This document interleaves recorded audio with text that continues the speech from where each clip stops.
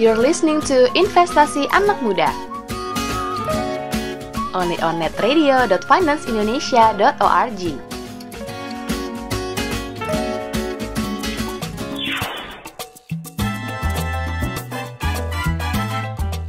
Nama saya Henry, saya saat ini bekerja di Kresna Sekuritas sebagai Strategic Partnership dan juga uh, di Ukrida saya juga sebagai pengajar sekarang. Saya bekerja di investasi sebenarnya dari tahun 2009, cuma aktifnya 2013 akhir baru aktif. Sebelumnya saya pasif jadi beli nggak nggak nggak nggak ada berapa penjualan gitu, saya jangka panjang. produk yang saya sekarang invest itu ada di saham dan di mata uang, jadi di forex.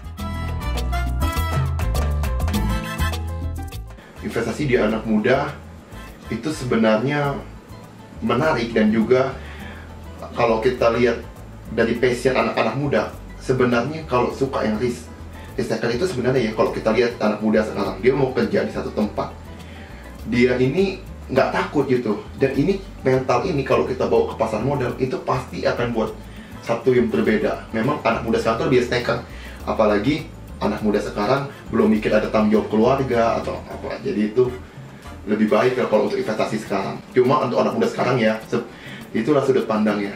Karena ngerasa lingkungan semua masih nggak mendukung di pasar modal masih banyak persepsi negatif modalnya mungkin dia belum ada atau ketiga masalah edukasinya dia belum merata belum terlalu tahu. Akhirnya inilah yang membuat masalah kenapa pasar modal di di dunia anak muda kurang gitu. Ngetren seperti saat ini harapan saya sih untuk investasi untuk anak muda seluruh anak muda sebenarnya kita udah dibekali. Kayak dengan pendidikan itu semua sebenarnya di pasar modal itu nggak nggak nggak serumit yang kita pelajari kalau kita ambil jurusan pasar modal ya.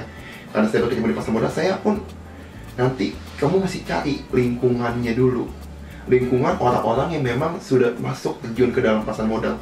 Kalau kamu udah ketemu lingkungan ini otomatis nanti kamu akan terbiasa dan kamu justru akan tertarik untuk masuk dan kamu akan menikmatin hasilnya untungnya sama kayak orang lain karena pasar modal itu trennya itu tiap tahun itu mengalami kenaikan kalau bukan lagi karena krisis.